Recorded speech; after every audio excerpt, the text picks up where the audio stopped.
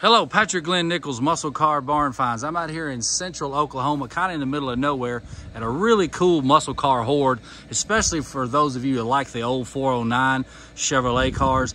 This is gonna be a really good treat for you. Maybe one of my better muscle car hoard videos that I've done. Please bear with me, the lighting in these situations, as we know when I go out and search for these barn finds, you know, uh, perfection is never something that we'll ever achieve as far as lighting and uh, all of that kind of situation. And, and sometimes you can barely hear me in some of these places. So I have to speak loud. I have to make sure the camera's on right. So bear with me, but I'll show you the best way that I can what's in this building, which is really cool. Most of this stuff's been sitting here for a long period of time.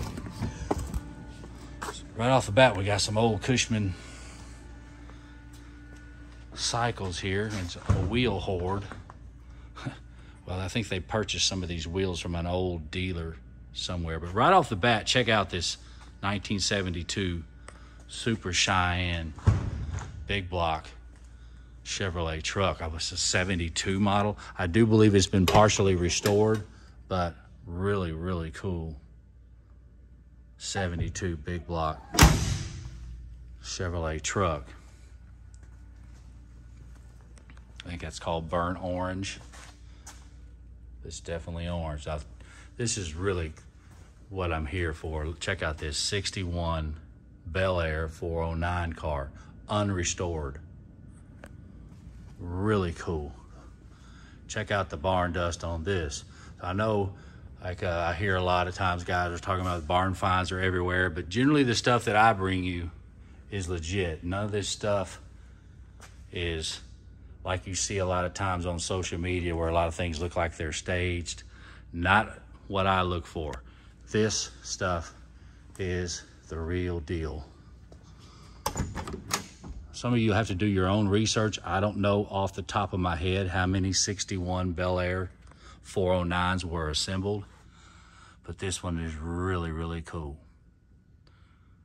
Totally original interior too. How about that? Okay, so I won't be able to spend a whole lot of time on any individual car, but I want to show you what exactly is here. Down this side of the 61, and then a little bit of the engine bay of this one, and then we'll move along.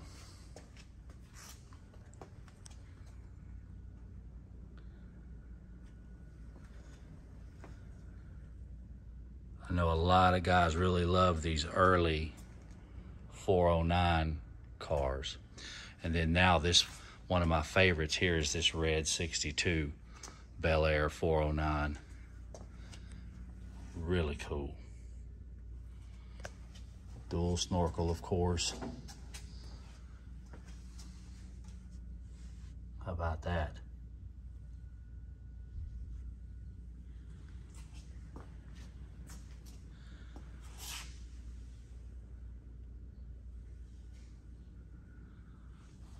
Really a big fan of red. So a lot of people already know that. So this definitely is something that I would definitely like to have. You can see the dust that's on this car is here because it's been sitting here quite a while. Like there's been no hands on that at all. Like somebody put their hand right there and up here. Check out this beautiful, which I love red with red interior. Look at that. How cool is that? Red with red. 62 Bel Air 409. Okay, let's move along. We have a 70 model truck here. Pretty nice, so we can open the door on it. Get a little shot. I like that. Nice truck. I believe this car to the right was supposed to be an old highway patrol car. Pretty neat. Got the Nova here. I don't believe this is a big block car at all. This is the only Impala that is here. I believe this car was born a 283. It has a big block in it now. I think a 396 or a 454, but a really nice 63 Impala with red interior. Bench seat, four speed. Nice looking car. 55 Chevrolet. I don't think I can get the door open on it. And this is a 68 396 SS L78 Camaro, which I do believe it is partially restored or definitely repainted. It's not a total unrestored car, but it is definitely an authentic 68 L78 Camaro. And here is a 64 model Bel Air 409, single four barrel carb. Right here beside it. And you can almost see the 409 cross flags on this one. And then this one over here is really, really cool. A 63 409, four and a quarter, two four with the two four barrels. But it's also a Bel Air. not an Impala. I believe it's blue. Yeah, definitely blue.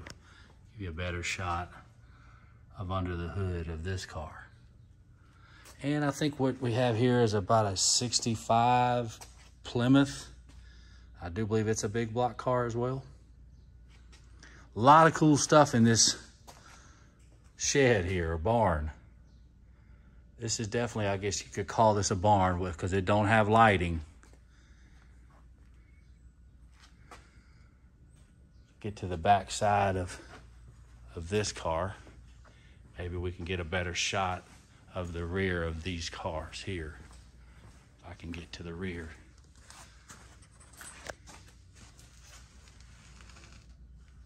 Biscayne, 64 Biscayne. and around.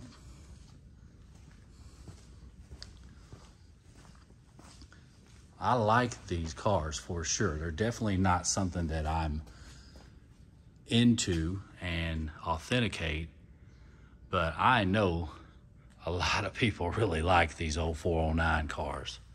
So I definitely wanted to show what was in this barn. I don't really know which one is my favorite at this point. Maybe the blue four and a quarter or this 62 Bel Air right here. Really nice.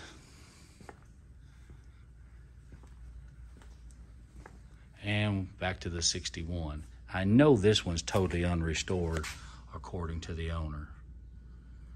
61 409 Bel Air.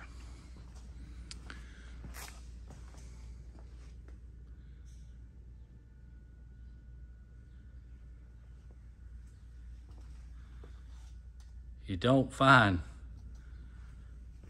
much better hoard than this as far as 409 cars is concerned. The guy does have another couple more, but not in this building. One more time I'll walk back this way. And then I'll show you this 68 Camaro. I can get the door. I barely can without touching that 55, and we definitely don't want to do that.